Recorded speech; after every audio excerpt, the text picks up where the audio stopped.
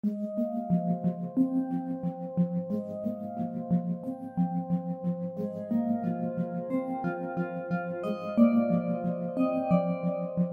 staan hier in Helmond en ik ben Theo de Jong. Ik ben de gemeentelijke archeoloog van eh, Helmond en ook de projectleider van het eh, project Vroegste en de middeleeuwse geschiedenis van Helmond. Bij de opgravingen zo'n 30 jaar geleden zijn er een heleboel palen gevonden, houten palen, van een houten uh, kasteel wat gebouwd was in een moerassig beekdal van de A. Het is een middeleeuwse burcht die rond 1150, 1200 gebouwd is en het hele complex is pas in het midden van de 14e eeuw afgebroken. Nou, bij de opgravingen zijn duizenden scherven gevonden, maar ook heel erg bijzondere dingen. Want op het burcht leefde de dochter van de hertog van, uh, van Brabant, keizerin Maria. Zij was getrouwd geweest met een Duitse keizer. Uh, die is een paar jaar na het huwelijk overleden, dus zij was weduwe daarvan. En de vondsten die uh, getuigen ook van een hele hoge komaf. Er zijn bijvoorbeeld er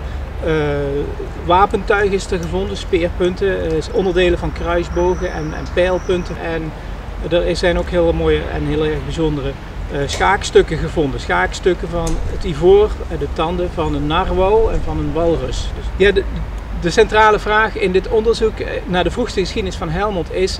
wat heeft dit oude huis, uh, deze plek, betekend voor de, het ontstaan en de vroegste geschiedenis van, van de, de huidige stad Helmond?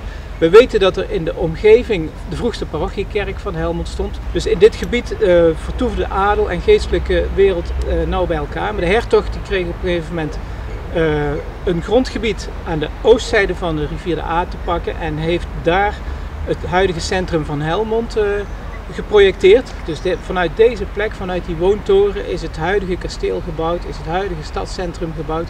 En wat, heeft, wat is nou daar de reden van? En we hebben geprobeerd om daar meer grip op te krijgen en inzicht in te krijgen.